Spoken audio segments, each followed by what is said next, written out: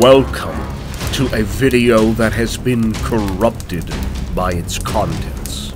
Anyone may lose oneself in the search of forbidden lore. The champions of chaos are some of the vilest beings in existence.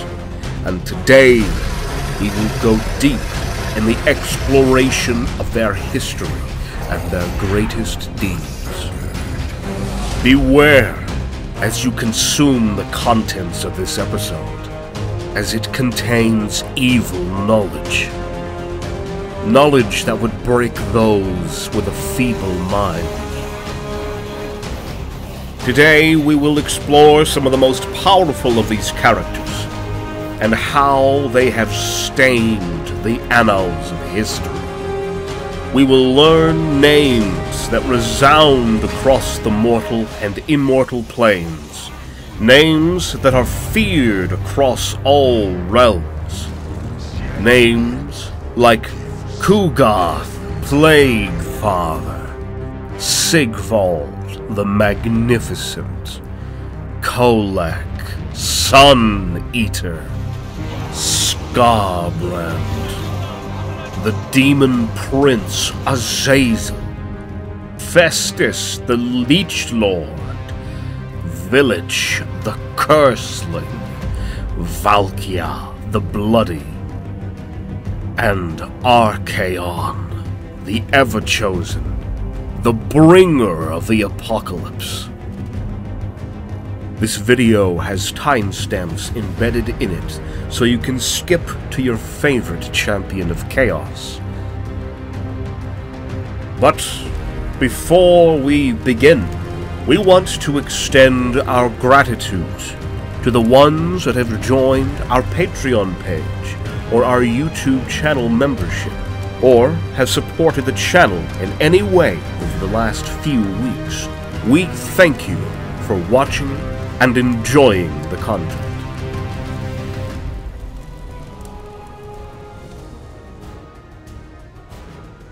If you want to get your legendary title, you will be more than happy to hear about today's video sponsor. Established Titles is a fun way to preserve the natural woodlands of Scotland, helping global reforestation efforts, and also makes for a unique gift. Their title packs let you buy at least one square foot of dedicated land, with a unique plot number on a private estate in Edelston, Scotland, and an official certificate with a crest. All the available title packs are based on the historic Scottish land ownership custom, where you can declare yourself as a lord or lady, which are the Scottish terms for a landowner. You could officially change your name to lord or lady and get it on your credit card, plane tickets, or elsewhere. You can even get it on your dating profiles. Not only that, but by purchasing your own plot of land, Established Titles plants a tree with every order through partnerships with One Tree Planted and Trees for the Future charities. Established Titles has told us that the first 200 people purchasing a title pack using our link will effectively be next to our plots. Depending on how many of you want to become a lord or a lady, we can build our own Book of Choyer Kingdom. Established Titles is actually running a massive Black Friday sale right now. Plus, you can use our code CHOYER to get an additional 10% off. Go to establishedtitles.com forward slash Choyer to get your gifts now and to help support the channel. Am Sigvald the Magnificent, the Gilded Prince of Slaanesh. From birth, Sigvald defied the very laws of the world with his mere existence.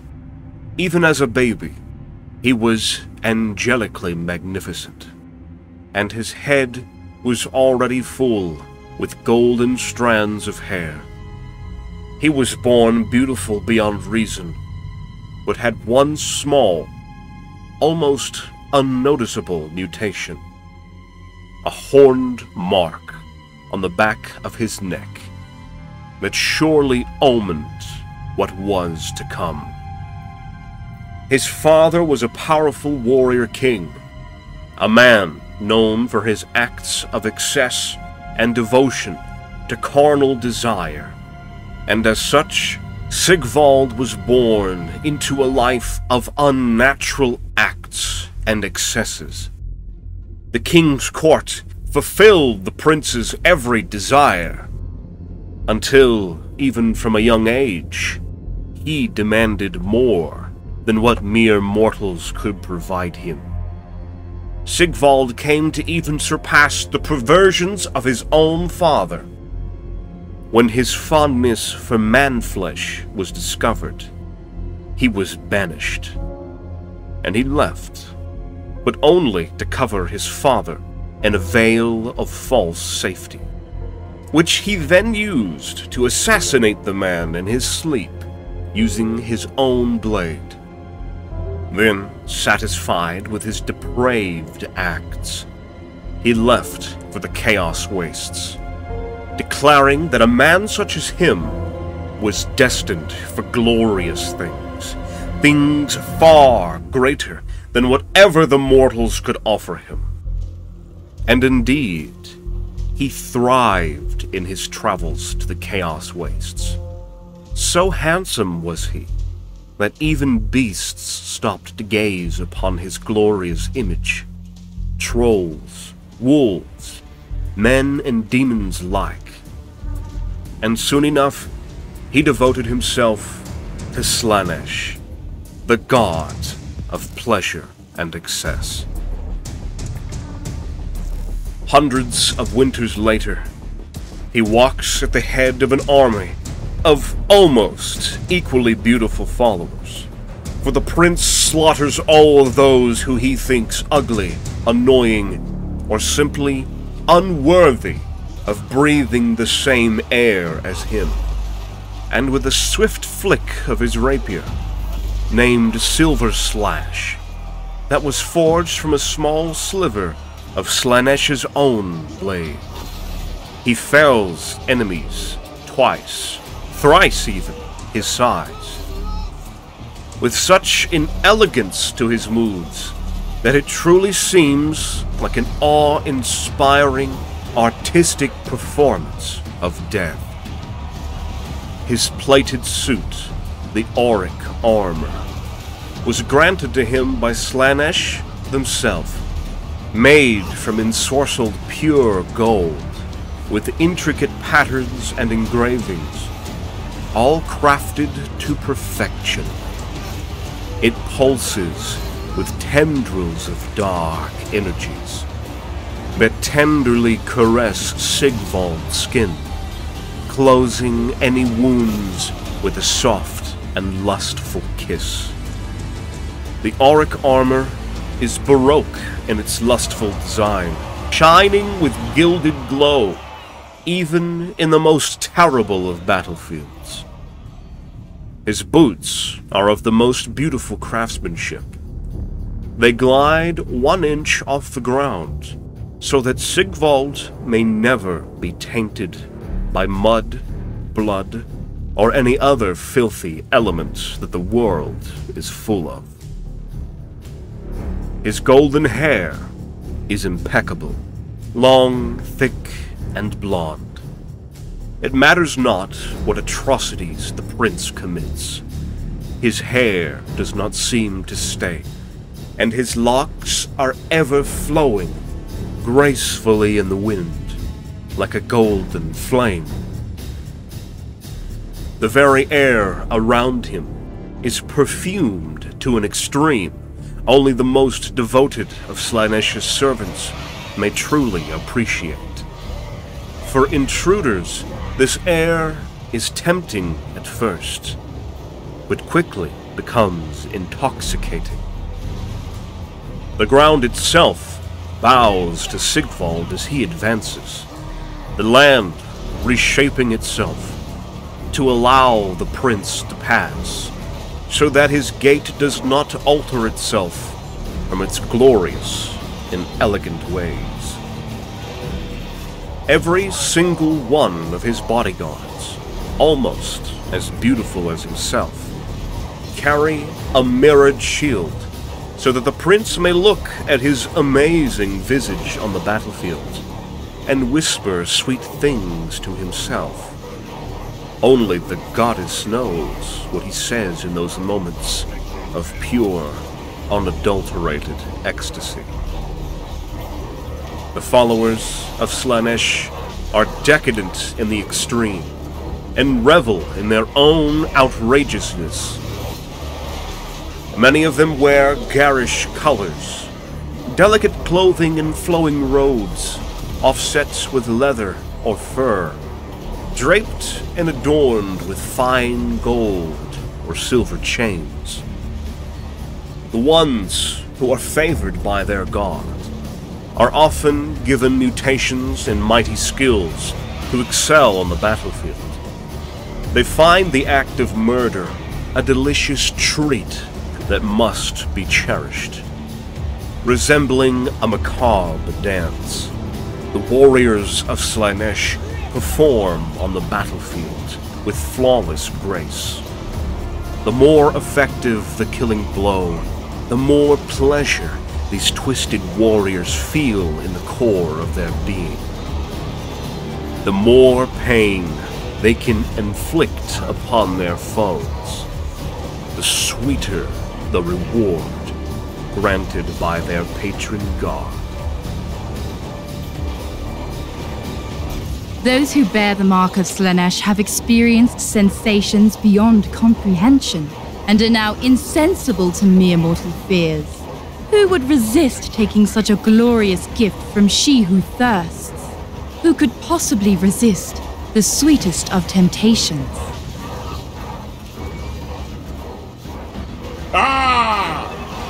Loyal minions. Over the way stands something I want. It is only right I take it from him. And if you, my serfs, die in agony during the attempt, then know that I'll feel your pain. Why, I will relish it!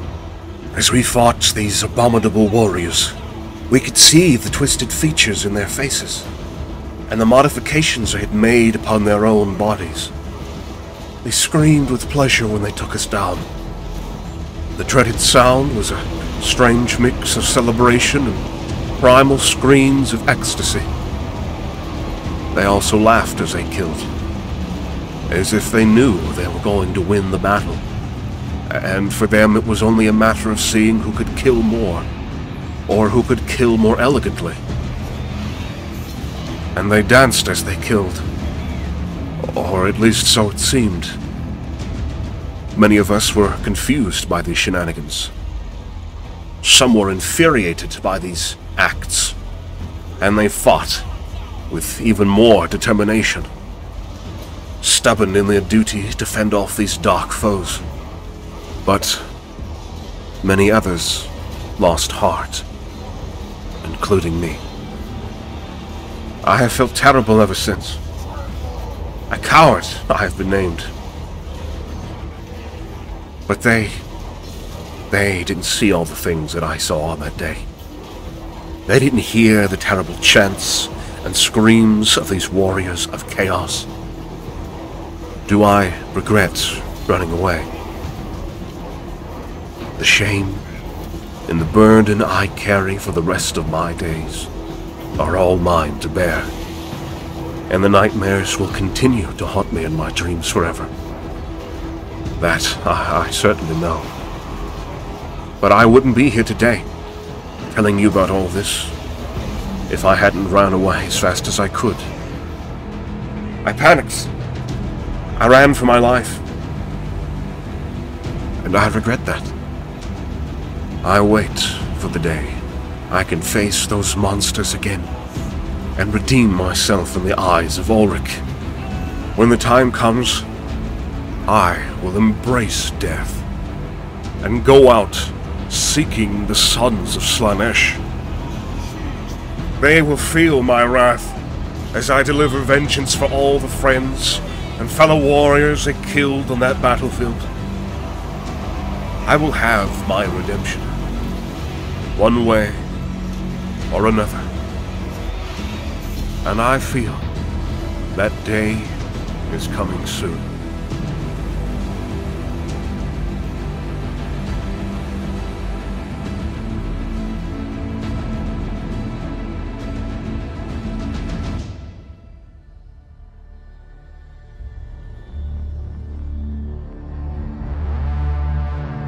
Have you ever looked at the mirror and felt that your reflection somehow looked back at you? Not at you per se, but through you, begging you to come closer to see all of your small facets, to reach through the mirror and catch it. What is it? Perfection, utter and complete magnificence. The sweet whispers of the god of seduction beckons you to come closer, and throughout history many have answered, but none so completely as Sigvald, the magnificent. He looks like the very definition of the words handsome young man, but he is indeed older than me. And who am I, you ask? I am but a simple elf servant to his handsomeness, here to fulfill his every wish, his every desire on a whim, and I am not alone. For his mere image inspires loyalty upon those who seek the utmost absolute perfection in all things. All of those who follow Sigvald into battle know one truth that they will get to experience the most extreme of pleasures when they win and bring glory to she who thirsts. Raise buildings and sing songs in my glory. In my name, pursue your arts and enshrine all beauty. Let all people follow their every desire, sate their every hunger, and deny themselves no adventure. For it is in these things, and in no other, that you will find the greatest pleasure. And it is through these things, and through each other, that you shall rise yourselves higher, even unto the steps of my throne. You will take pleasure in all that is, though your bodies will break and your souls be forfeit. For I am Slaanesh, most jealous of gods, and most demanding of lovers, and my thirst for you shall never be sated.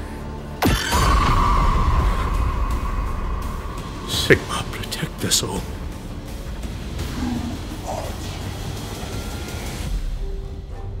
In the flashes of lightning, I saw a scaled leg scrabble against the rock as the thing stood upright. It walked past me without even bothering to glance at me. Last I saw it, it was scaling straight up a cliff. I saw others like it, waiting at the summit of a mountain, their forms throwing massive shadows across the mountains as they fought amidst the lightning. I've never been back to Icebreak Ridge since. In this episode, we will learn about the terrible creatures that are the dragon ogres, and also about one of the oldest amongst them, Kholek Sun Eater, a dark beast that makes the world tremble with his wrath. The dragon ogres are creatures that have lived for eons. Their incredible longevity, as with almost all things supernatural, is the work of the Chaos Gods. Ages ago, the elders of their ancient race made a pact with the ruinous powers, embracing damnation in order to save themselves from a slow, inevitable decline into full extinction. They were given eternal life, and in return, the entire dragon ogre race put themselves at the command and service of the dark gods. Since that day, the dragon ogres have carved their names across the ages as immortals who can only die in battle. Monstrous beings that rouse themselves only in the name of destruction.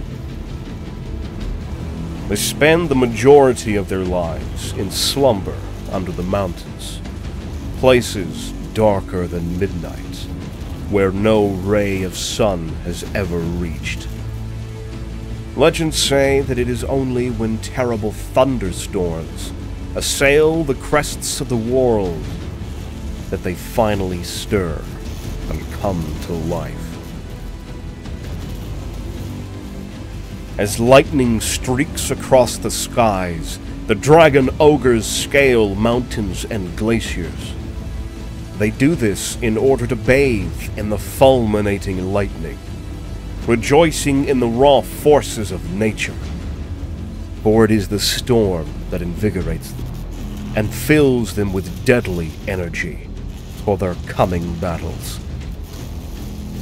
The most feared amongst their number is the massive dragon ogre known as Kholek, Sun Eater.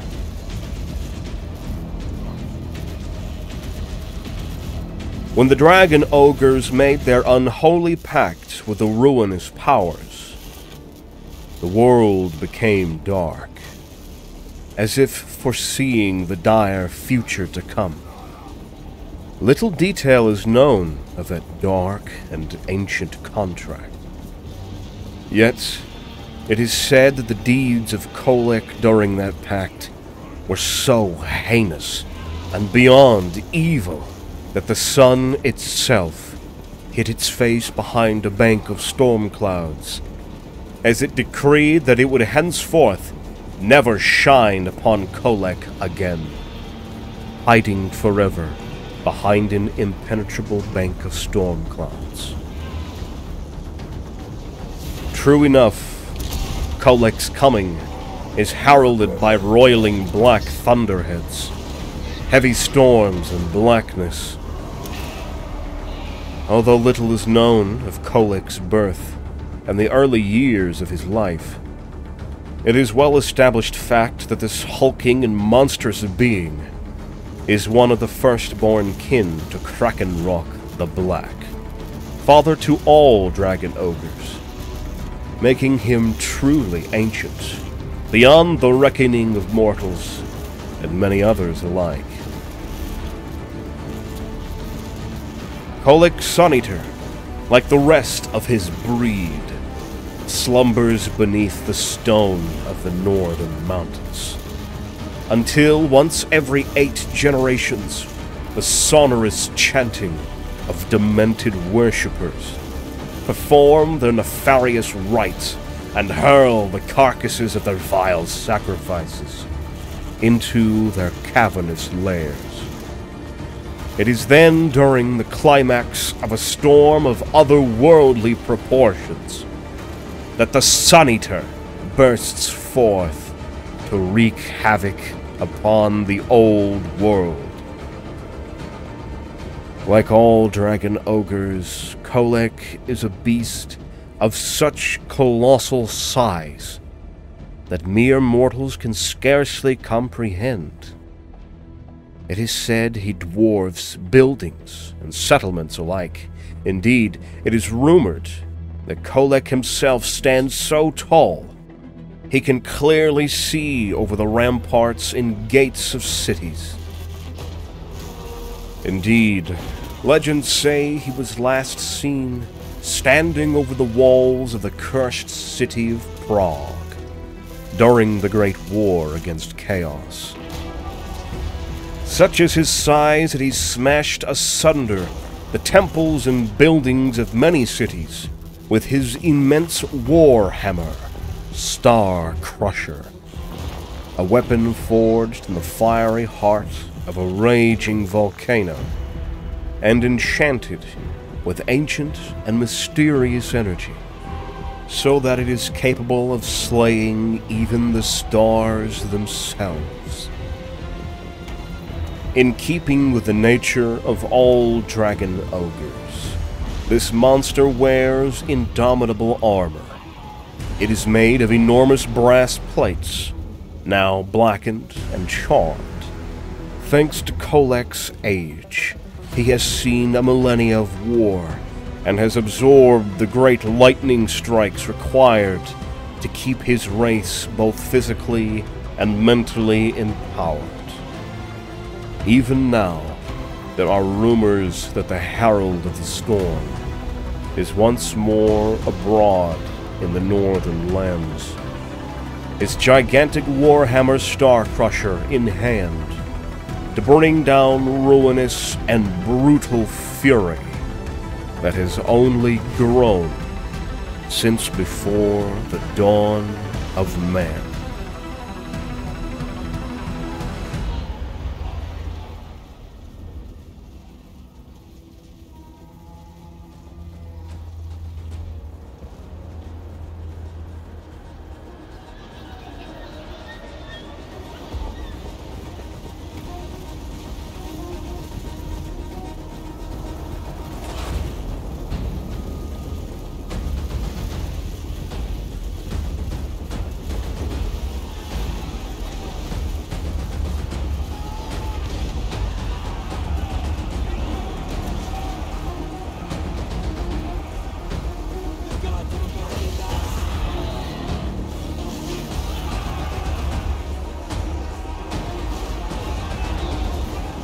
As the lines crashed and the battle heated on, the skies turned black, as if nature, in the warmth of the sun, removed itself from the world.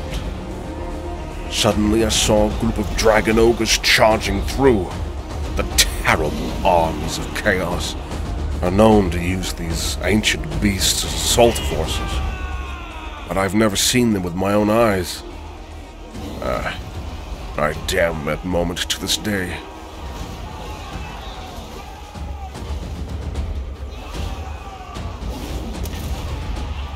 The green things that I'm unliving alike will bear witness to my wrath. They are mine to dismember, to disembowel, to crush. I will smash all that remains of these ruins to powder, and not stop until my hammer is found! And then the whole world will burn before I rest again. Such is my rage! This is the new pact I make to the Dark Powers!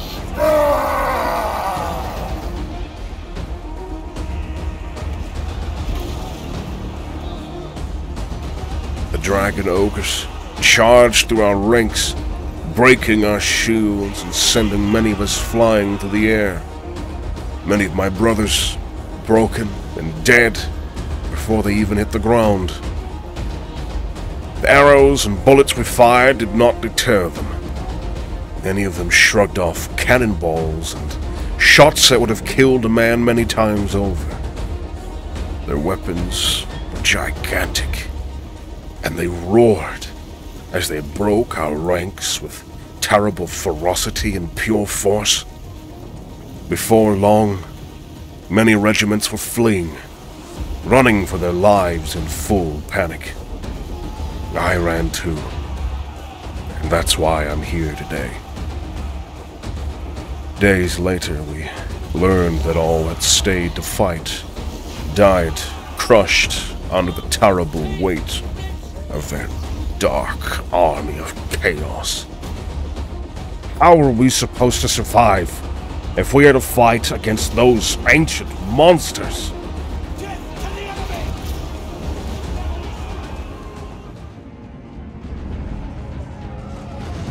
Come, take my hand.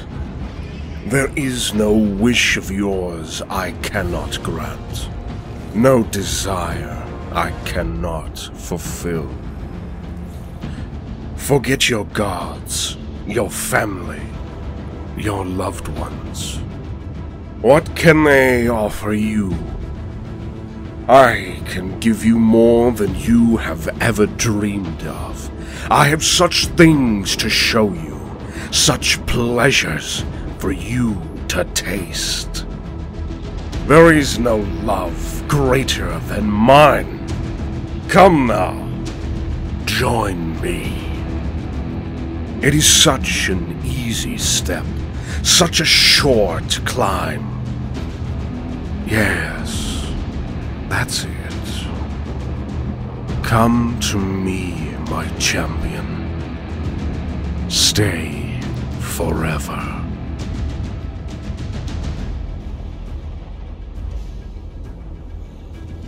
Azazel was born a mortal man under the name Jarian of the Umbarajan tribe, alongside his twin, Trinovantes, and his elder sister, Ravenna.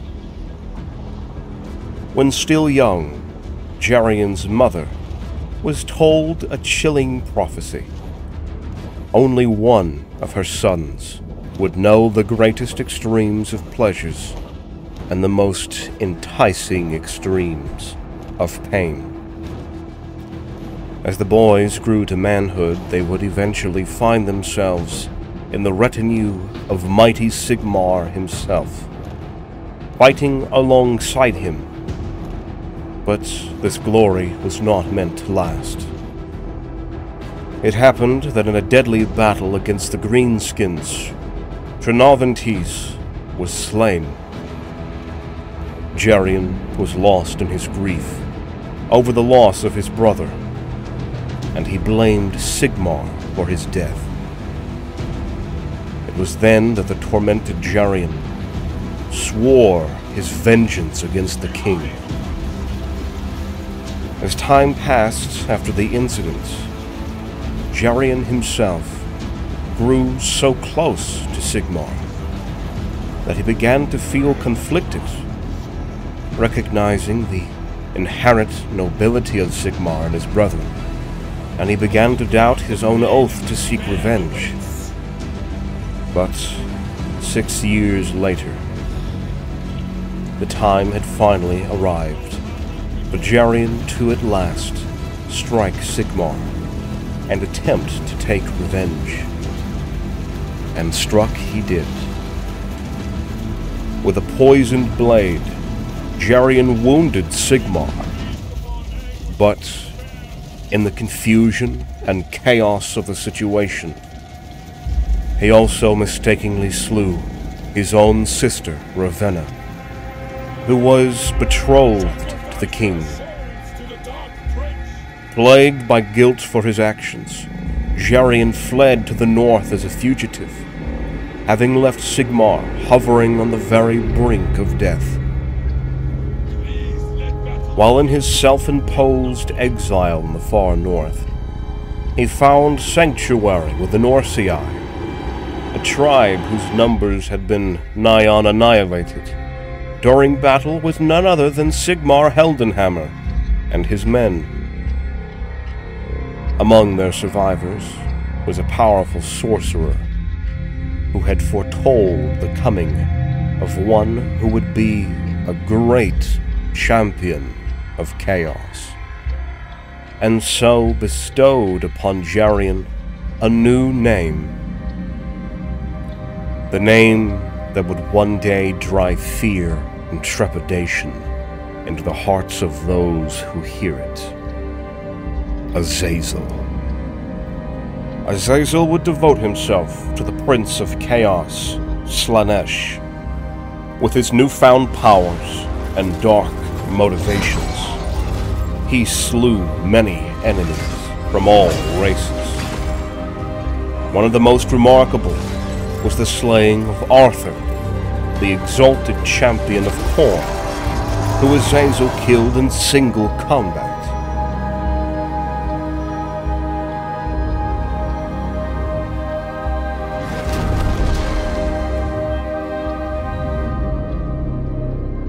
Pleased with his might and devotion to the arts of excess. Slaanesh, in return, elevated Azazel to demonhood as his demon prince, and made him the commander of one of the Slaaneshi demonic armies, the Ecstatic Legion. Blessed by Slaanesh, Azazel is second in beauty only to the gods themselves. He boasts great polished horns that curve out from his brow, and beautiful, pure white wings. In his right hand he carries an enchanted demonic blade that writhes as if alive. It is a sword that no armor can ever hope to deflect The beast has a sickening beauty that can drive any man or woman mad. In fact, there are a few legends and tales that make up this argument. One of the most famous being when a questing knight called Guido de Brion went on a mission to kill Azazel, only to kneel before the beauty and splendor of the demon. His head was separated from his shoulders in one quick slice. And the questing knight didn't even try to move or defend himself. In his mind, the act was truly justifiable. For how could he resist against that excessive beauty? It is said, too, in hushed whispers, that the beast can see the deepest desires and hidden pleasures of all mortals, and look into the most private corners of their hearts. As such, the terrible and varied temptations that the demon whispers are nearly irresistible. Now, Azazel wanders the battlefields of the old world, slaughtering with reckless abandon on wings of pure alabaster.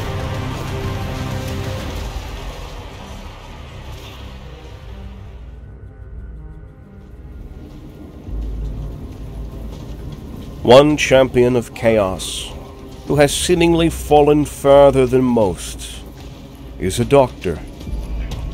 Festus, the Leech Lord, once a skilled chirurgeon, who founded hospices across the province of Nordland. With his abilities, he cured hundreds of wounded and sick men and women with his many recipes for curative solutions, salves, and unique unguents. He was as compassionate as he was gifted, and his reputation preceded him amongst renowned physicians, alchemists, and scientists across the length and breadth of the old world. But fate played a cruel hand to this once noble man. His downfall came when he was finally faced with the disease his famed potions, concoctions, and unguents could not cure.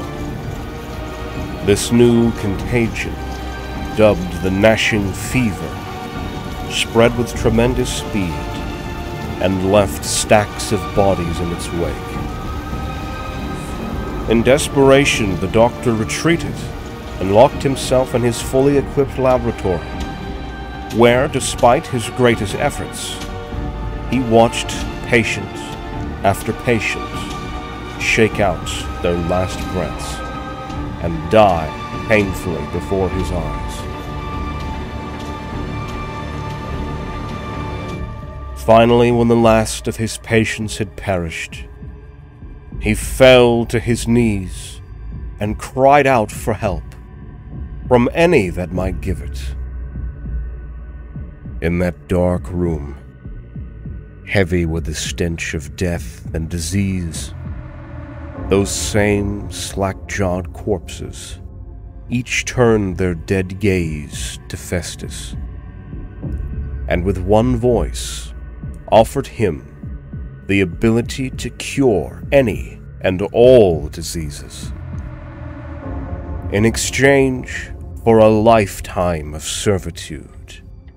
The plague god would bestow Festus with the knowledge necessary to cure not only this brutal gnashing fever, but all diseases that ever could and would ever be. It is important to note that many humans do not seek to initially please the dark gods actively. There are many reasons a human soul might turn to the worship of chaos. Some of them seek a release from their lives of slavery, endless toil, or hopelessness. Many others, however, desire power or influence, whether to provide for those who depend upon them or to reach their own ambitions. It is a slippery ladder, crowned with morally compromising choices that oftentimes begin as seemingly justified or even a noble cause but quickly it turns into full heresy. And by then, it is far too late to step back. In the case of Dr. Festus, his choice was made out of pure desperation and the seemingly simple and noble wish to cure his patients thinking only of the good work he might do, and how many lives he might save in the future, Festus agreed to the offered pact, and his mind was instantaneously flooded with knowledge that none but the great god Nurgle could impart. Every disease was revealed to him in an instant that truly felt like an eternity. Every cure was put at his disposal, every concoction suddenly made known to him. The knowledge of all the sickness, suffering, rebirth, and death was suddenly his. It was absolutely overwhelming. And in that moment, Festus became the Leech Lord of Nurgle, an exalted champion of Nurgle, who goes to war in the name of furthering his revolting studies. This new understanding drove every shred of his once renowned compassion from him, and left Festus utterly insane. This madness was swiftly put to use in service of Grandfather Nurgle, as Festus then founded the Tnean Fellowship, an imperial society of physicians, which in truth sought to corrupt yet even more practitioners of the noble arts of healing into falling under the sway of Grandfather Nurgle. Before retreating to the northern wastes, Festus even used his new knowledge to devastating effect. When the son of Aldebrand Ludenhof, the Elector Count of Hochland, fell ill. Disguised as a cloaked physician, the gardener of Nurgle instructed the young man to drink a mysterious potion should the symptoms of his rare illness return and in time the symptoms did indeed return. But when the young man drank the elixir given to him, rather than being cured, the man turned into a great, slobbering, mutated beast that slaughtered a score of the Elector Count's closest advisors before running north to obey the whims of its new master. Now Festus plagues the world, spreading Nurgle's gifts among any and all who he crosses paths with. This champion of chaos is a walking repository of alembics and foul-smelling potions. To the ones blessed by Grandfather Nurgle, these elixirs are restorative brews, but to others they are deadly poisons that only hurt and corrupt the body and even the soul.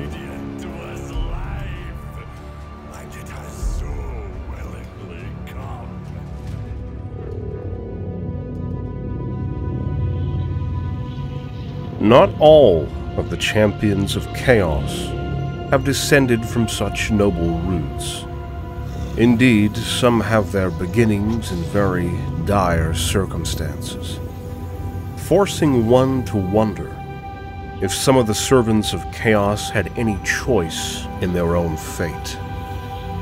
Or perhaps they were controlled the entire time.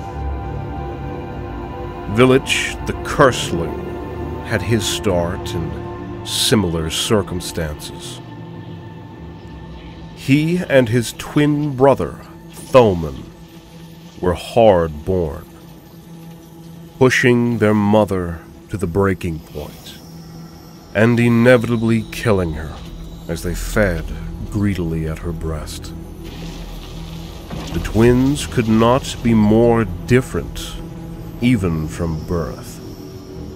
Thoman was a strong, robust, and strapping boy, while his misbegotten twin was small, sickly, and runtish.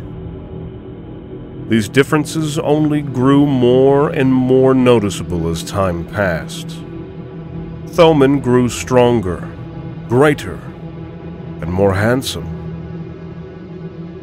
taking to the way of the warrior with little effort, while Vilitch struggled under the tutelage of the tribe's shaman, and soon grew to be despised, not only for his acts and mannerisms, but because he was ugly and frail, things far too intolerable for the hardy men of the tribe. It was during this time that Thoman began to beat his lesser twin for even the smallest perceived infraction. Vilitch's father never intervened on his weaker son's behalf. This cruelty and mistreatment mingled together with his already despicable personality. And it inevitably led Vilitch to nurture and develop his resentment and hatred until finally he started praying every night that his role might be reversed, and that it might be he who was the stronger twin, the one who could punish, the one who could dominate, and rule over those he deserved to be above. Tzeentch, the god of change, in his infinite wisdom, is also the God who delights in anarchy. Eventually, he agreed to Vilitch's selfish request. It was time for a change. One night, when the dark moon Morrslieb was full in the night sky, with the darkness drawing in in the chaos moon passing close to the world. The dark god Tzeentch, master of misrule and treachery, took heed of the wretch's prayers and gave him the power he sought with his usual petulant twist. What emerged from Vilitch and Thoman's tent glowing with baleful magic light, would be the being from henceforth known as the Twisted Twin. Tzeentch had fused the forms of the Twisted Vilitch and the mighty Thoman together, bestowing magical power in Vilitch that dwarfed any of his opponents a hundred times. Thoman, as requested, became the subservient twin.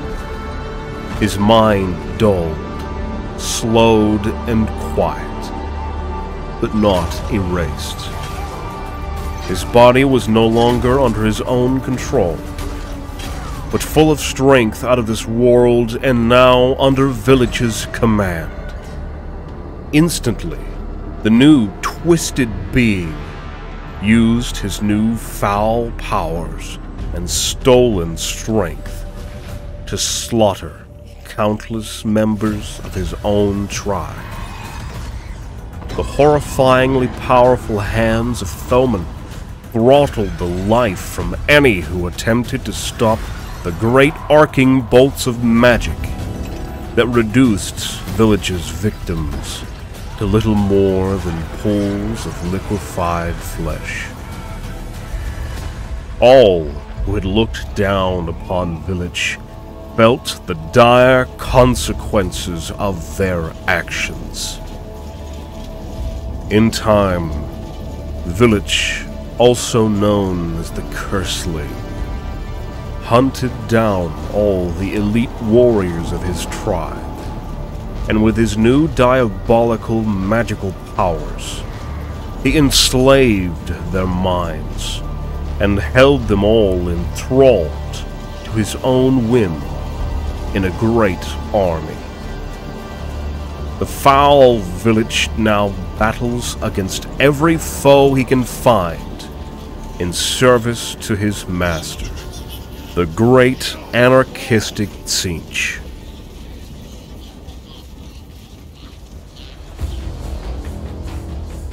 Queen of Gore, demigod of war, Valkia is the bride to Khorne himself.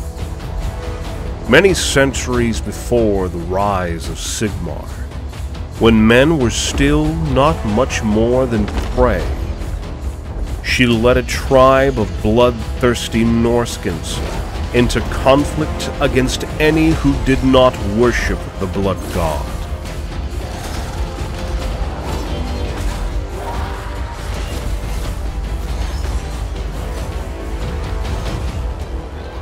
But before all of that, she was Lilven, meaning little friend in her Norscan tongue, dubbed that by her warrior father, Merrick.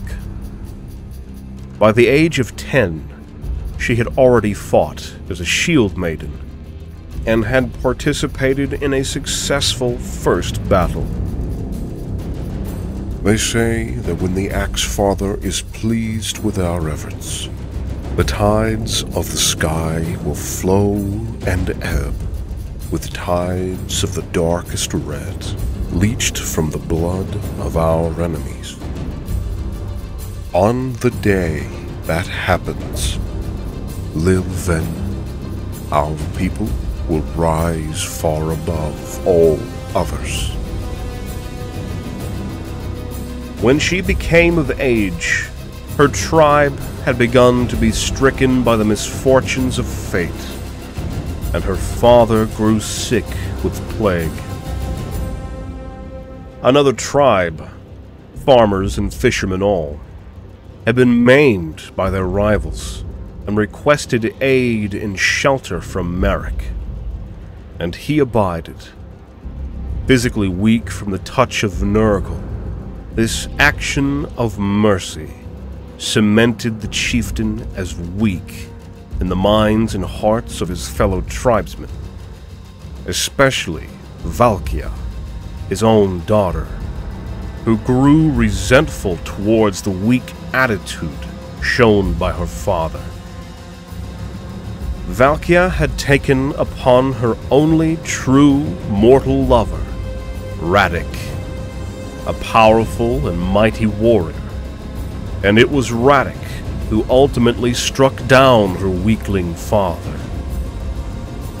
In a sudden turn of events, Valkia killed Radek too, declaring him a traitor and becoming herself the head of the tribe. She led the tribe in daring raids, eliminated anyone who opposed her, gaining the favor of Khorne above all others. Valkia was a ruthless killing machine.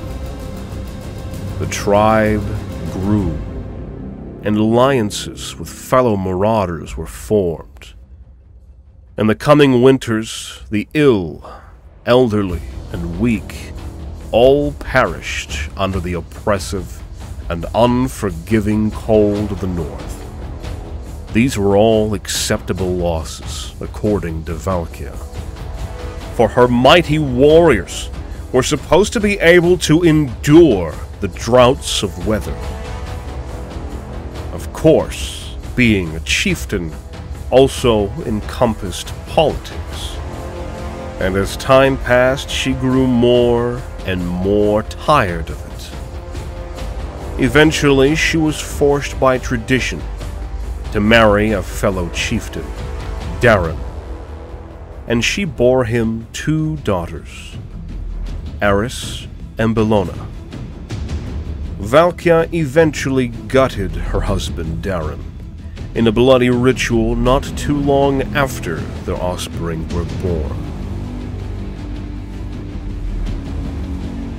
Losifax, a demon prince of Slaanesh, bore the humble visage of a hooved man in purple robes when he visited Valkia.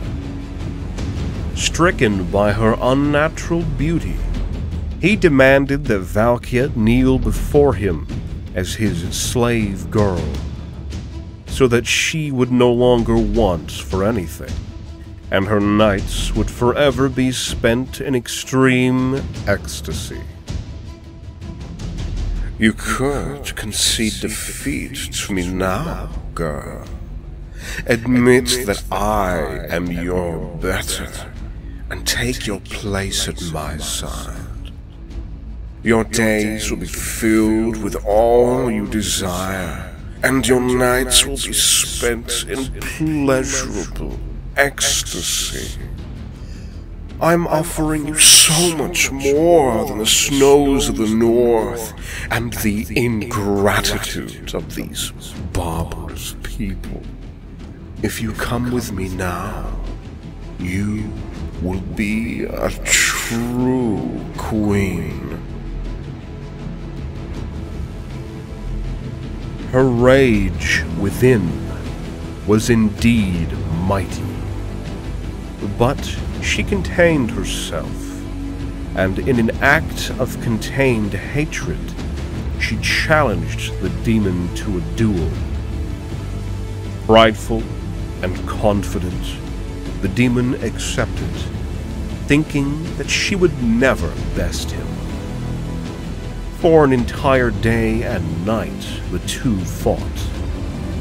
Valkia had relinquished her crimson armor, for she had no need of it. She allowed her hatred to seep through, and the rage carried her into frenzied battle, never tiring. With a thundering spear thrust, she decapitated the demon.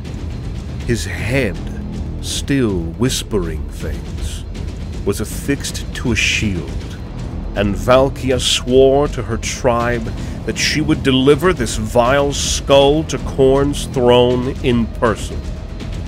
A bold claim, but she followed through. She marched, like the queen she was, into hell itself. There, the demonic hosts of Slaanesh assaulted her, attempting to avenge the loss of their demon prince. And one by one, with time, her followers were cut down, until eventually only she remained. Every spear thrust was a demon banished. Every shield bash was a skull split. But it was not enough. She was eventually cut down, ripped apart by many a depraved form of life. And there laid Valkia, bloody and torn apart. With a rumble, the mountain shook. The heavens were inked with the color of blood and the very core of the earth cried crimson roars. For Khorne had noticed her monumental efforts, and from death did she return. Now made into the Gore Queen, Valkia the Bloody, bride of the Blood God. with the singularly important task of bringing to his brass halls all of those who died in worthy and bloody combat.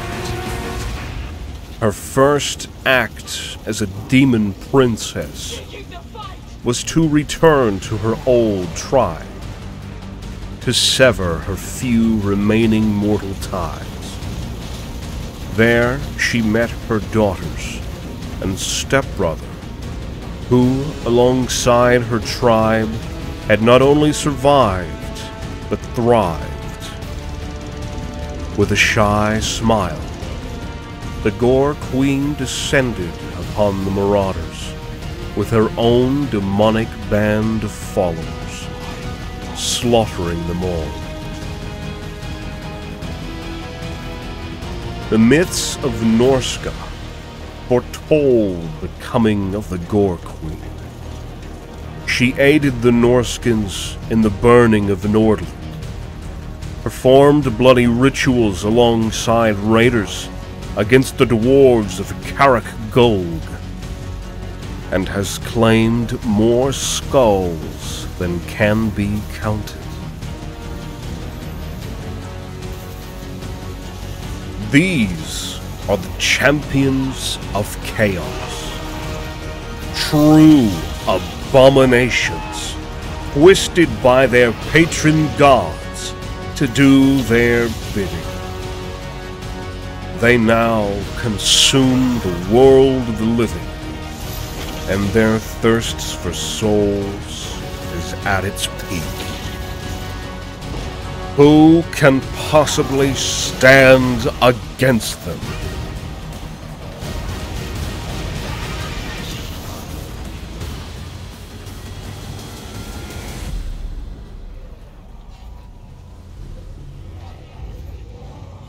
Chaos has influence over everything it touches.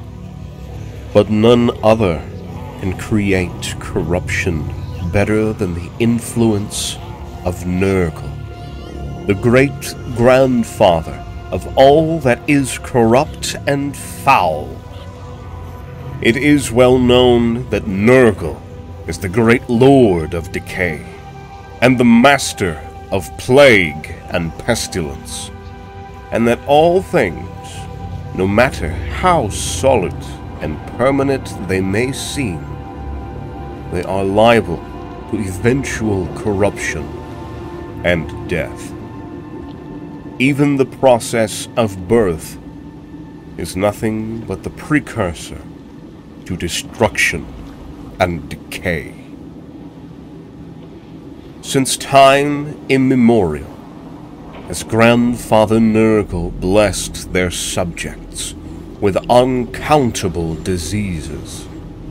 These afflictions are too numerous to count, and too deadly to even grasp the full potential of their destructive capabilities. While many great unclean demons work and fight their way to spread virulence and disease, there is one amongst them that is set to constantly creating new poxes and afflictions. This being is so focused on breeding new virulent life that his quest for the perfect disease began upon his own creation. And his ultimate goal is to make a contagion that can even infect the gods themselves.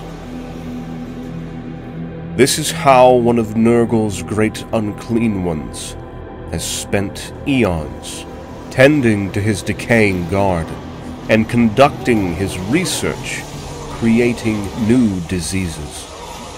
This great unclean one will not stop until he deems his experiment perfect. This one is known as Kugath, Plague Father. Kugath is the most favored great unclean one of the Lord of Disease himself, Nurgle.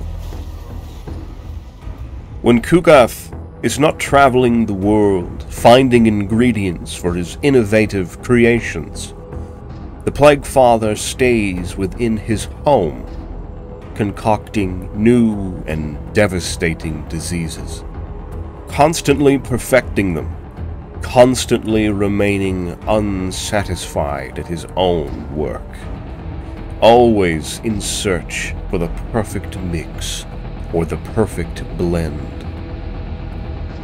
Like a chef tends to a garden to have the freshest and most interesting of ingredients. The Plague Father has his own garden of virulence, which gives him access to all currently known pathogens, either naturally created or artificially made by Kugath himself. It is said that most demons despise the mortal world.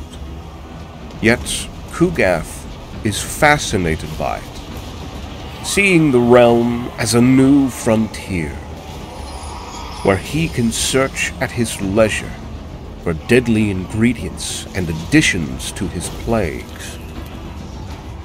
In the mortal world, the raw material is plenty, and the imagination of the greatest of unclean ones is wild and unpredictable.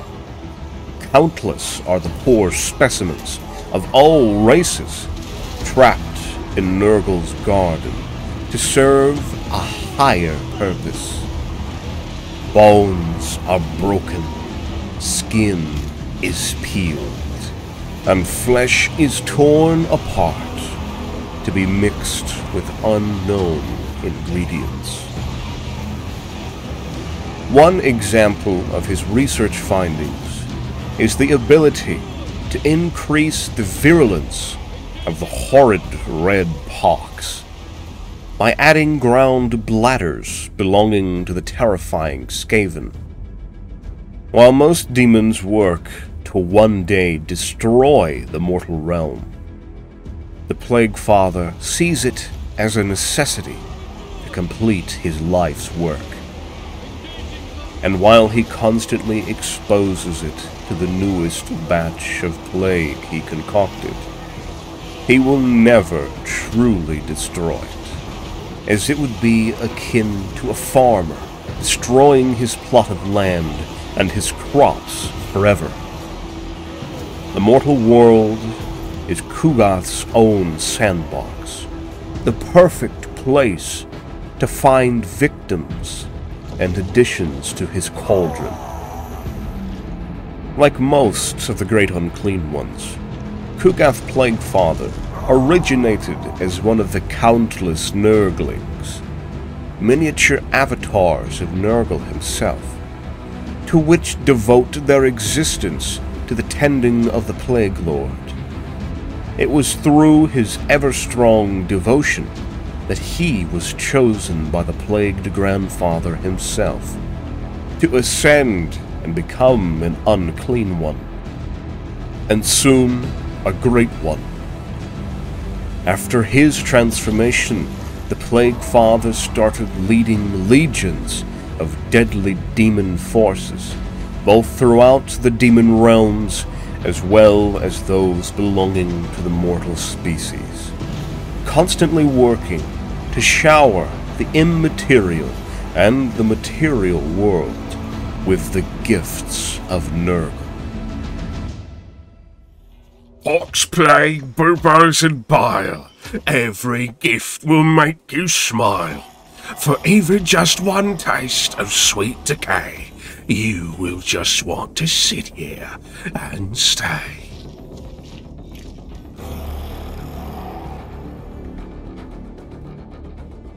When leading a demonic host, Kugath sits atop a massive throne known as a palanquin that is carried by a horde of Nurglings, which also act as weapons when dunked into Kugath's own vat of whatever new brew he has concocted.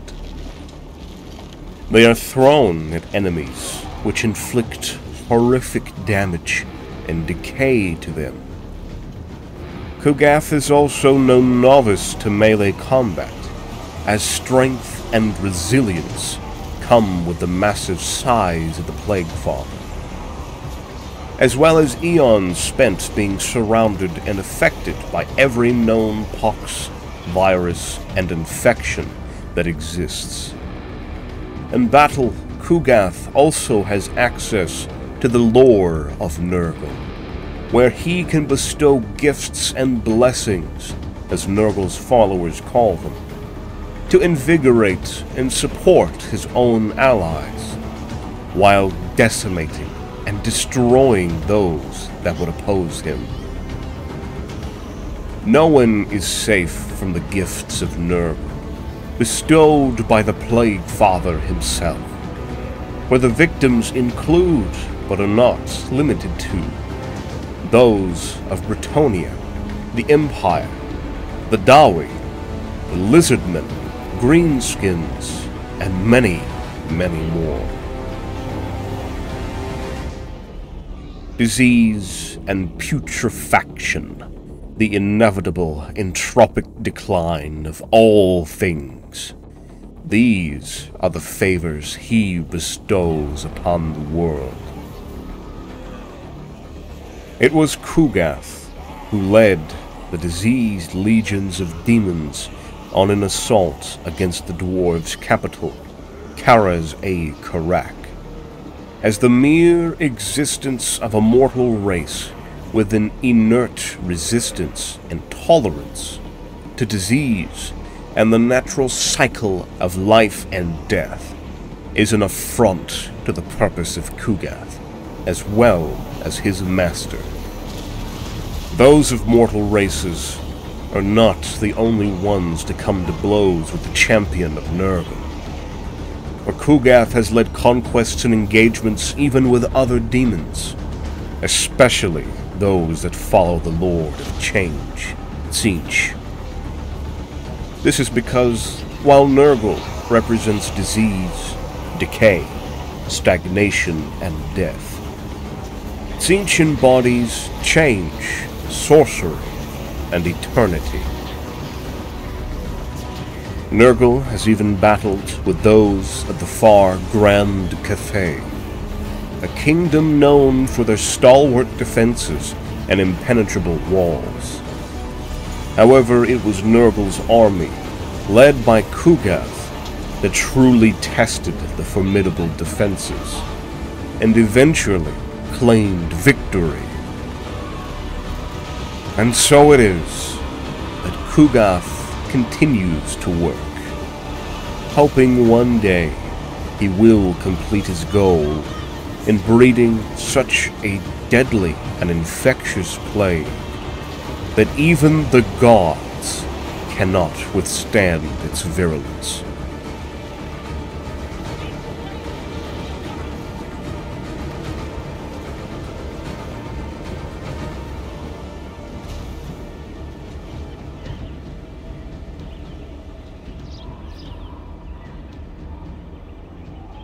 Perhaps now, looking back at the events of that accursed year, it was obvious that the village of Arnsberg was doomed to fall into the hands of the enemy.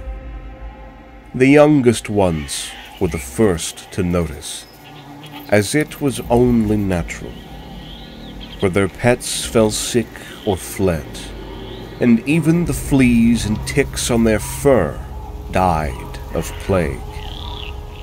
Then, as the village was forced to partake in a mass burial of animals, the streets became cleaner for only a couple of days. Distinctly so, as the rats had also vanished. The trees were still, for even the wind seemed to be afraid to blow past the village and the sun had become shy, being covered by dark clouds. But no rain came, as if afraid to visit humble Arnsberg, and nobody would fault them. No rain ever came. and it was awfully dry. The people, especially the old folk, had become strange, and their very bodies had begun to change. In the beginning, in subtle ways. But as time passed, it became clearer that something was afflicting the place. Many had been executed by the Church of Sigmar on charges of mutation, corruption, and dark contracts with distant, nigh eldritch and bizarre beings. The cattle, too, were cursed, as the cows went mad and began eating each other, consuming even their own offspring, and with their horns impaling each other with primal savagery. But the goats did worse things to each other, things too abhorrent to even mention. And the crops, oh, the crops had human features on them. They were inedible, but they seemed to have a life of their own, and they whispered in agony. They were all mercifully put down. The river had become a sick green color, and birds had begun falling lifeless from the sky before disappearing completely. The sky was dead. And finally, the rain came. And it did not stop. The world was sobbing for the strange fate of Arnsberg. Clearly, the village needed help, and local Templars of Sigmar offered to quest along the main road to seek holy respite and indeed the village cheered them on as heroes. In truth, many of the villagers were being eaten by Father Gascoigne, the local priest of Sigmar. He had fallen to corruption, and he was declared a heretic after being discovered. He was hunted down like a dog, and for many a night did he stalk the streets and nearby forests, hiding like the loathsome man-eater he had become. Eventually, he was found dead, bursting from the inside out with pus. And all who had been in contact with the body died shortly thereafter, and the crows who feasted upon it mutated into hideous creatures. Food had run out, and the people were desperately fleeing. And it was found that, to outside eyes, they were already too far gone. And it did not take long for the authorities to arrive. An imperial army laid siege to the expiring city in an effort to contain the pestilence and corruption. The dead, the dying, the rotting, and worse, littered the perpetually wet street as the plague arrived, and alongside it zealous madmen who carried with them bells that tolled for the dead. With the church gone, Insane doctors attempted leeching treatments on the people, attempting their experiments on the poor first, who were also the first to go. People died with each passing day as the situation became worse and worse. Strangely, though, some seemed to not fall from the sickness, but instead rose up and began to gather those and preach the words of the great grandfather, an entity not known to many of their peers. They preached that his angels would come and save the village, that this was a gift and that the army outside was from the false gods, Sigmar and Ulric, and that they should not fear them. For Grandfather would take care of everything.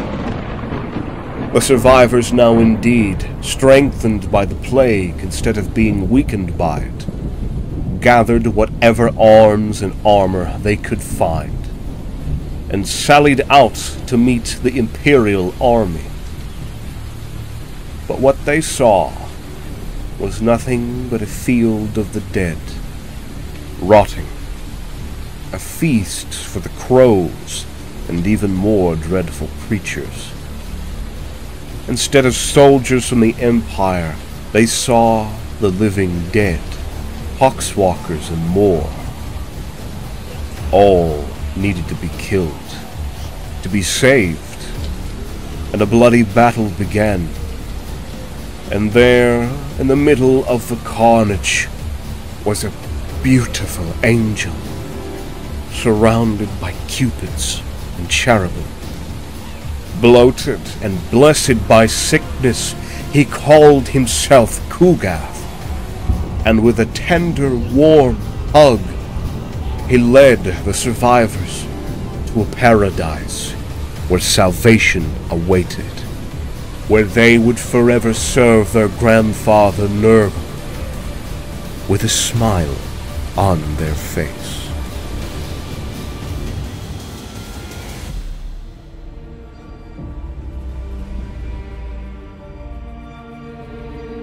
The great and powerful Chaos Gods each have their mighty and immeasurable hordes of demons to do their will. Yet some are greater than others and have greater legends and strike more fear into the hearts of demons and mortals alike. One such greater demon is the colossal Skarbrand, the exalted bloodthirster, often known as the wrathful reaper, the drinker of blood, and in his later days, the exiled one. Like all his kind, Skarbrand was imbued with a portion of the power of the blood god Khorne himself, making him a warrior of unparalleled violence, power, and sheer force of will. It was he who tore down the great gates of Slaanesh's first palace and wreaked bloody ruin within. It was he who led the eight hosts of murder against uncountable enemy forces and decimated them in an endless ocean of gore. Yet, for all his powers of war and battle, Skarbrand fell against his own flaw, and that would see him humbled beyond measure. Skarbrand was arrogant, subject to immense hubris and such rage that was actually palpable and painful to the body. These flaws were bolstered, nurtured, and fanned by Tzeentch to such extremes that the exalted bloodthirster attempted to battle his patron god himself, challenging his might by striking the blood god when he was facing the other way. A terrible mistake. For all his power and strength, Skarbrand could never overthrow the mighty Khorne, and for his transgression against his own master and creator, he was stripped of all his wits and personality. Left only with his great rage, Skarbrand would begin wandering the immortal and mortal realms alike, in search of skulls to heap upon the Blood God's throne. In the time since the Lord of Skulls hurled the sinful demon from the highest parapet of the brass citadel and out of his presence forevermore, Skarbrand has done naught but wreak bloody havoc with an ever growing devotion and intensity. So numerous are his victories before and after his exile that they are simply impossible to count as they traverse time and space. Yet there are some few moments that stand apart in his long and storied history, such as when he was summoned by the foolish Skaven during the Battle of Karagangul. Falling to hold the line against the warriors of the Dwarf Hold, the Skaven Grey Seer, attempting to summon an avatar of the Horned Rat, accidentally summoned the Great Skarbrand, whose unnatural demonic presence drove dwarfs and Skaven alike into a horrifying blood frenzy and began to fight and slaughter all about them. The carnage was only stopped when Master Engineer Clarak Bronzehammer set off demolition charges that sundered a colossal statue of Alea, burying the majority of the crazed horde. The Spine Crusher, the Skull Taker, the Blood Quencher.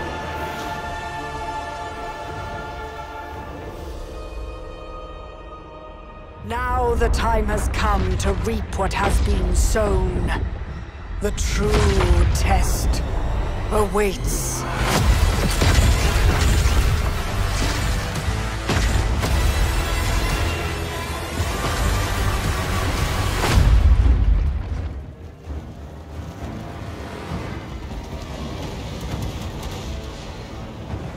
Ah, the ground shook over and over with the thundering sound of hundreds of thousands of warriors on the march.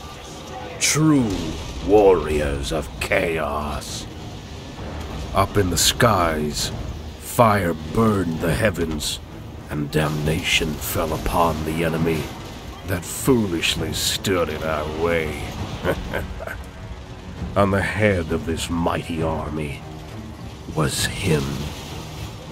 The one who makes the very skies quake with fear. Archaon. Cannonballs flew through the air, slaughtering many of us with cowardly tactics. But unrelenting was our horde. Steam, steel, gunpowder, all of those opposed us and the very culmination of those things rammed into our lives. A steam tank pushed his way past the front line, using its mighty weight and girth. But it was met by chanting, Archaon, Archaon. The Lord of War had stopped the metal beast tackling the steel monster to the ground with otherworldly strength and power, slaughtering all of those inside. The chanting got louder and louder. Their blood we spilled all across the battlefield. Some heroes battle on too stubborn to realize all hope is lost. Their time is past, and the new age of chaos and dismay beckons.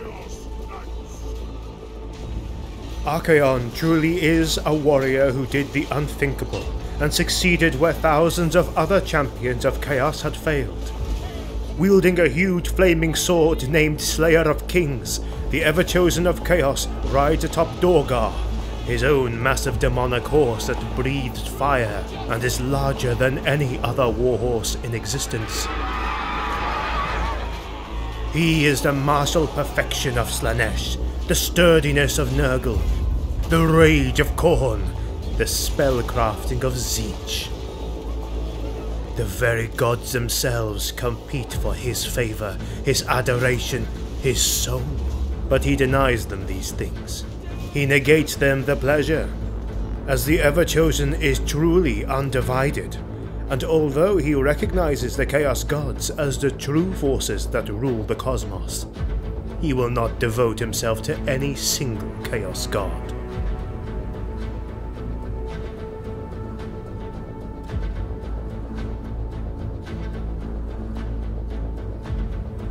Archaon is the thirteenth and last ever chosen of Chaos. Of all the beings that have been able to become the ever chosen of Chaos, Of all who have assailed the world over the ages, Archaon is by far the most ruthless and perhaps the most powerful of them all. I will prove once more that I am the ever-chosen.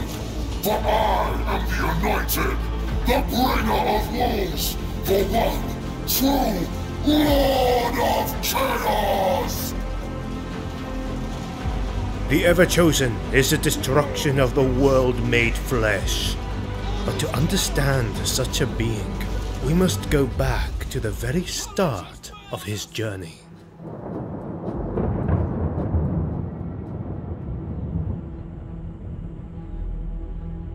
Before there was Archaon, the three-eyed king.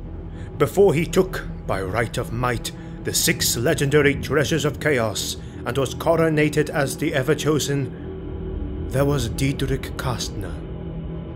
Diedrich was born in Nordland shortly after the First Great War against Chaos. He was the offspring of a Norscan raider attacking his mother during those tumultuous times. He had blood both from the north and from the south, as was foretold in ancient prophecies. As the years passed, he became a member of the Order of the Twin Tailed Orb, and he was mentored by a priest named Dagobert. Diedrich was a fully devoted servant of the Order, and with dedication and commitment, he later became a Knight Templar, fighting faithfully in the service of the God King Sigmar Heldenhammer. But he was eventually cursed by knowledge.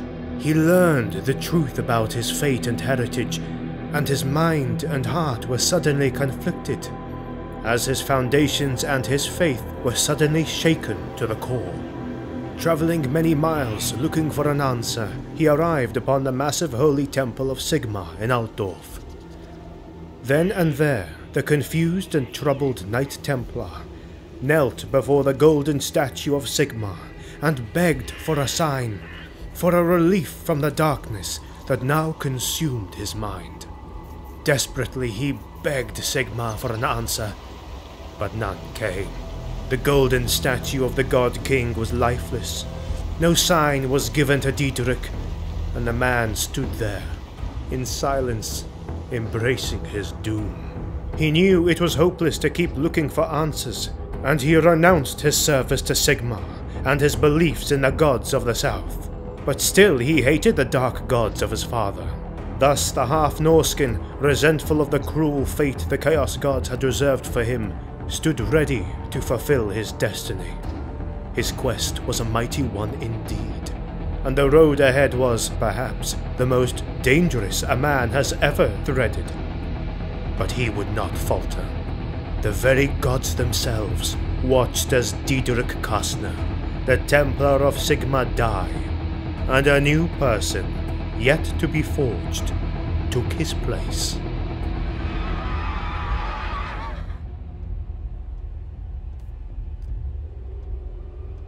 Forged from the other world, six treasures shall he possess.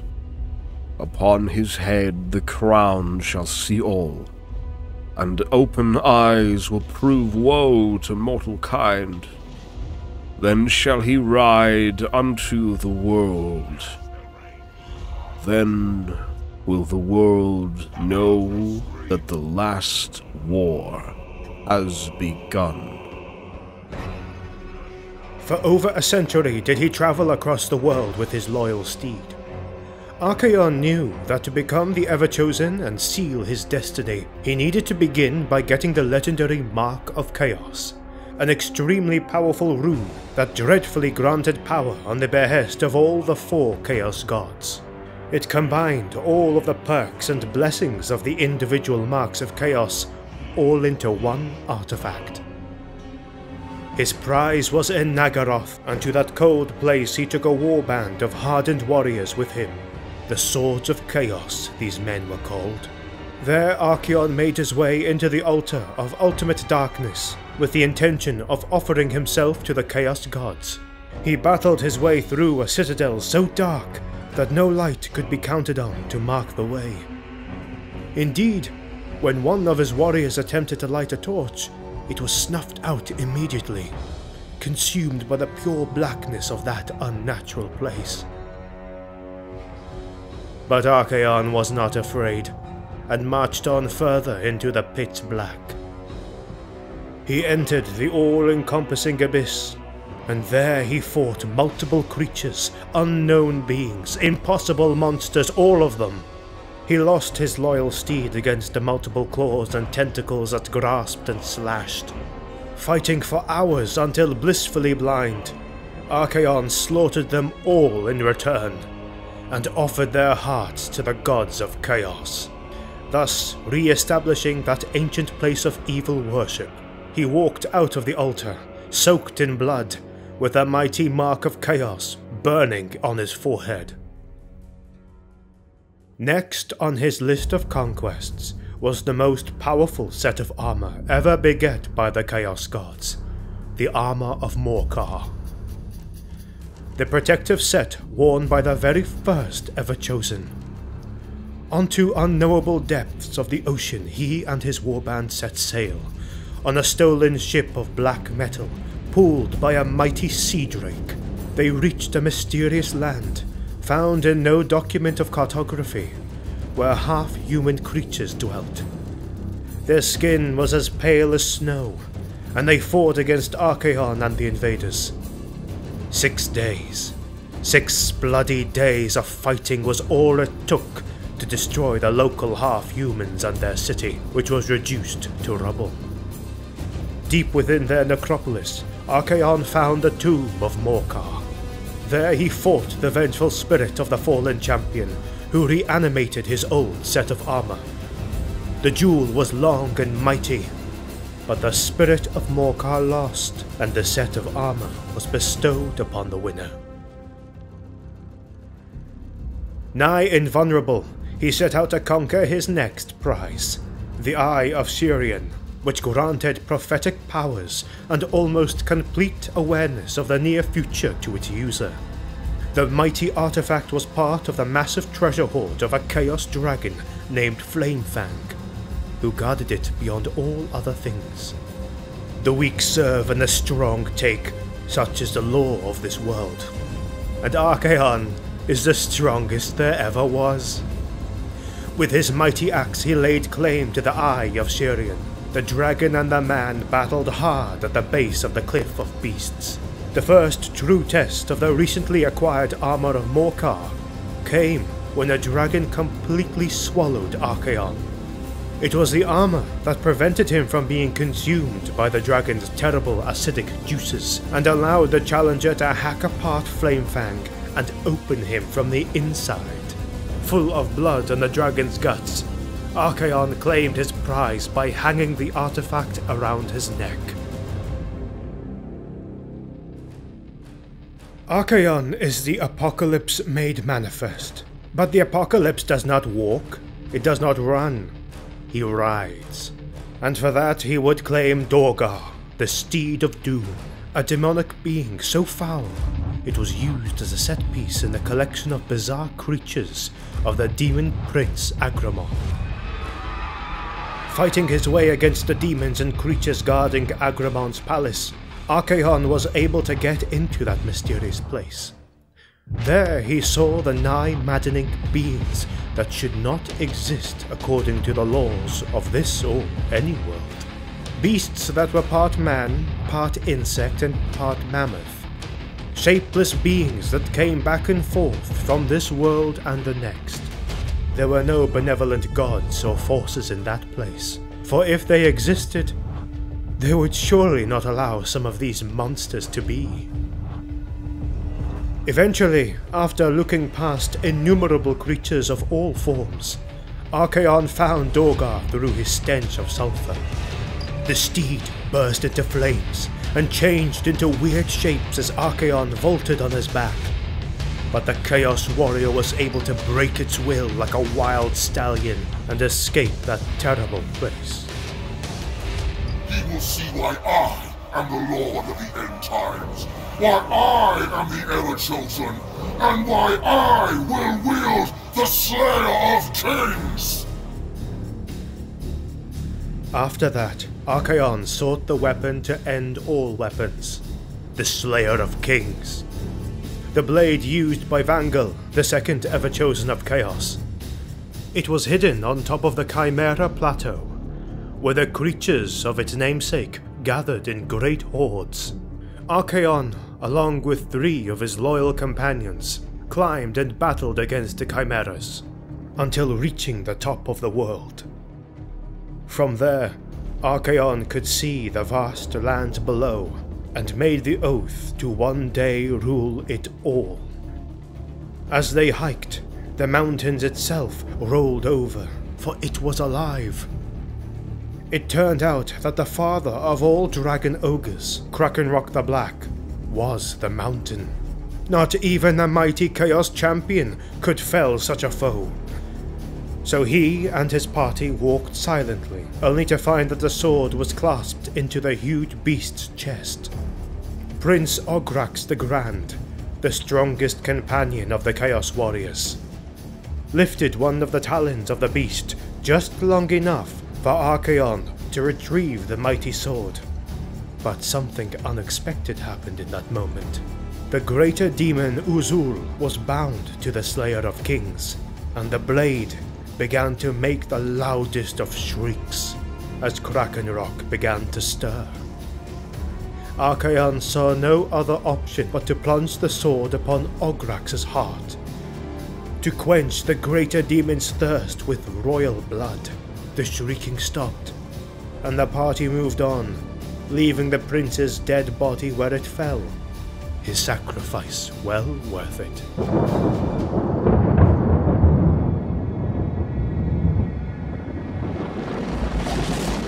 I know my destiny is absolute. Be'lakor will coronate me. Decades passed after obtaining the Slayer of Kings and the other mighty artifacts. But to truly be complete, he still missed one. The Crown of Domination. A helm that originally bore the Eye of Sheerian, but was now lost. He had no clue where the crown was, but the shadowy demon prince Be'lakor showed him the location, intending to steal it after the Chaos Champion failed his quest. The Great Helm was hidden on top of a great icy peak in the World's Edge Mountains, upon where the very first Chaos worship had taken place.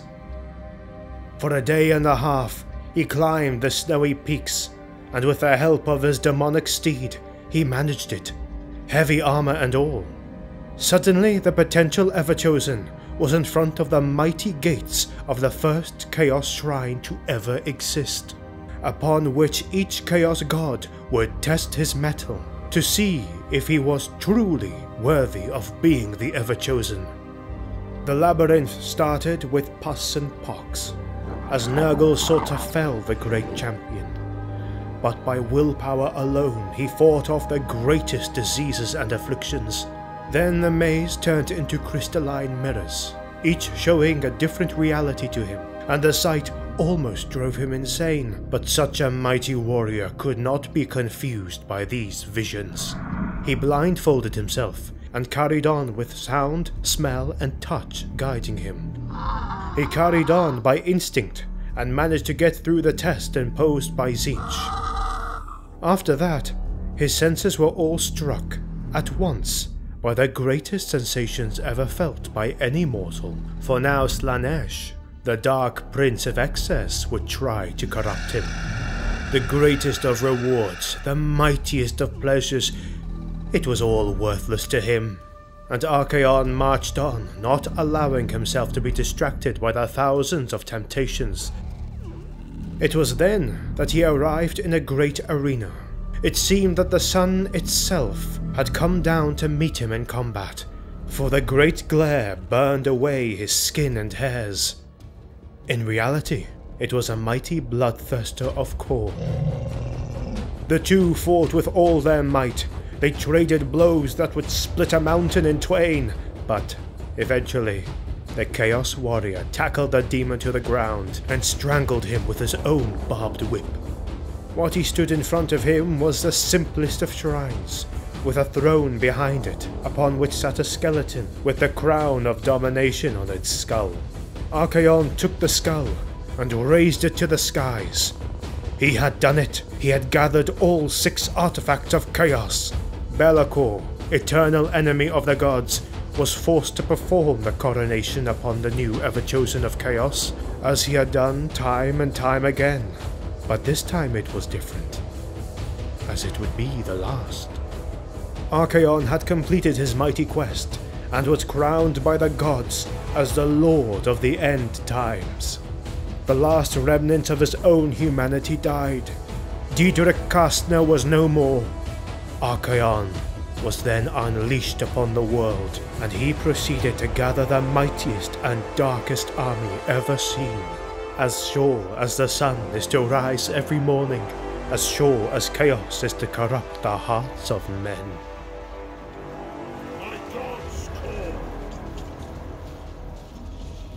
So soon the hour of fate comes around. The ever chosen stirs from his dark throne and prepares the blow that shall split the world asunder. Realms of old have fallen, lost beneath the fury of the Northlands, or smothered by vermin from below. Doom preachers and madmen now shout on the street alike, all rambling about the fate of the world. This is indeed nothing new in the city of Altdorf, but something seems to be odd this time. There are now more of them. In every corner of every street, one can hear the ramblings of a flagellant preacher, all saying the same thing. The end is nigh. Does our most holy father reward those who take the easy road? Does he traffic in temptation? Of course not! Sigmar rewards hard work, resolve in the face of temptation, and, above all, courage when confronting mortal danger. My friends, the easy path leads to corruption, to damnation, to perdition. Only through suffering can you ever see the glory that is the truth, that is the founder of our glorious empire, that is our divine father, Sigmar! The more aggressive ones get carried off by the city guards, only to be substituted as soon as they are gone. And week after week this has been going on. The taverns and bars and inns grow quieter, and even the most enthusiastic of drunken folk is shut by the tension in the air. The times are bleak in the Empire, and the air is choked with hopelessness and dread. For many moons have the people noticed the vanishing of cattle, or the birth of the animals as mutated monsters. Just today, we learned of a damned being that was born in the middle of the night. He had no tongue, yet he could scream. He had no eyes, yet he could cry.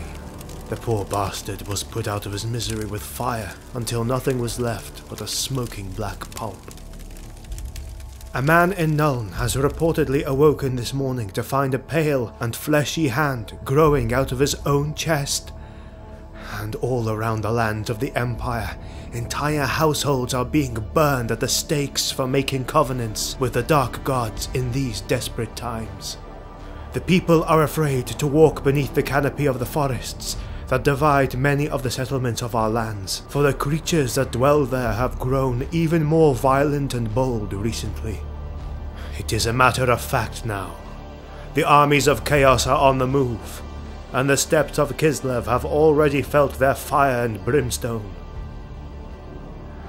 The end comes, and he rides upon a steed of fire with two tails.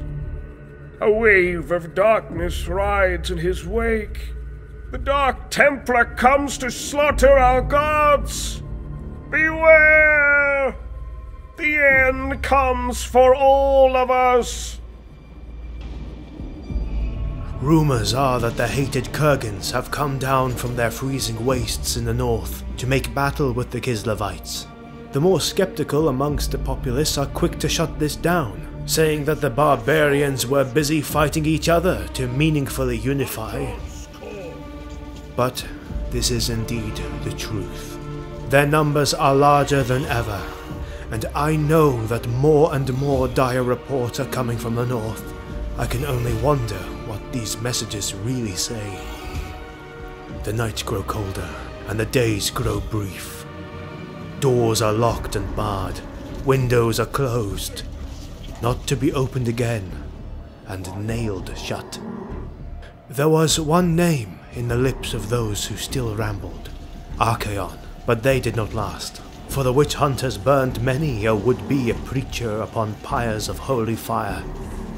But these actions have not stopped the fear we all have in our hearts. The dread that has settled over not only the Empire, but the entire world. And they were indeed right to fear, for he comes atop a steed of doom and flame. From the far north he comes. Archaon, the ever chosen.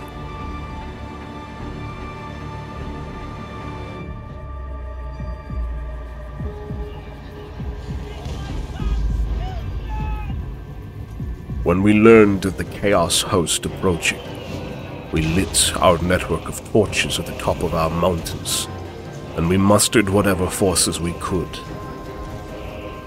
We managed to get a few patrol groups, and we drew a few hundred from the city itself. But we didn't know the enemy would come in such terrible numbers, and that unnatural creatures from the warp would come with them. The enemy had monsters of impossible size that marched close to them, driven by an otherworldly hunger and desire to kill. Their Chaos Knights charged against our ranks with sheer ferocity. We tried to contain them as hard as we could, but it seemed like a vain effort, and I saw many good men die in the attempt. We charged them many times with our powerful cavalry, but it was not enough. Not enough to stop their advance.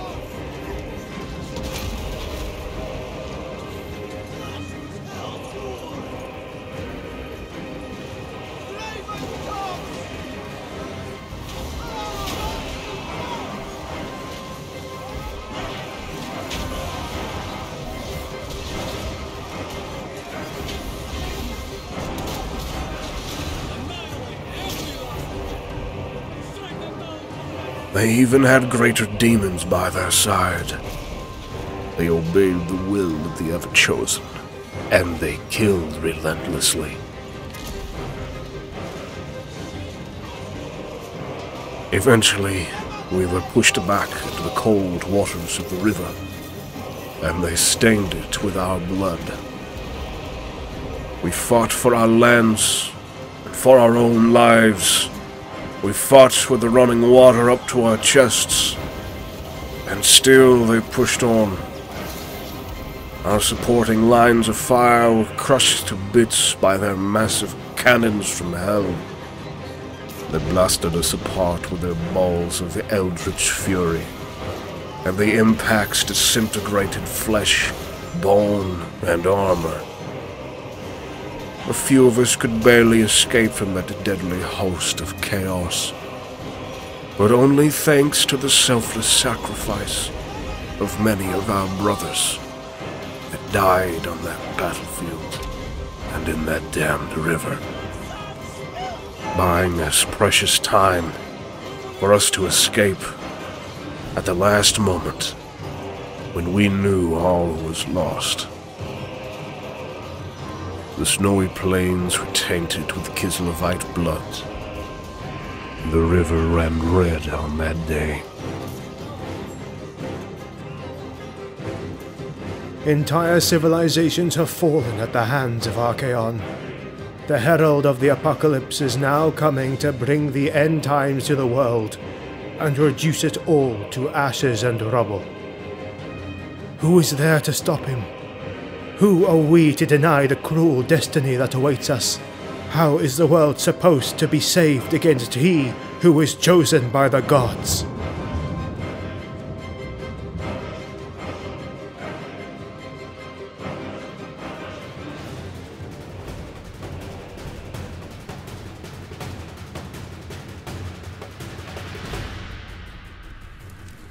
On this channel, we are putting together narrative Total War cinematic battles and Warhammer lore videos. A special thank you goes to our Patreon supporters who help us in the making of more content. You can also join Patreon and earn extra perks while supporting the videos to come. Find the link in the description below. Make sure to subscribe, and thank you for watching. See you on the next one.